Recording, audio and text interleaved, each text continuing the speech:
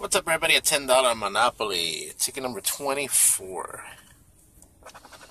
We got an 11, a dozen, 27, 14, 23, 18, 15, 13, 3, 19, 16, 5, 2, 6, and a 1. Alrighty, winning numbers are 24, new, 20, new. I think the only one with 20 is 27. Have you noticed that?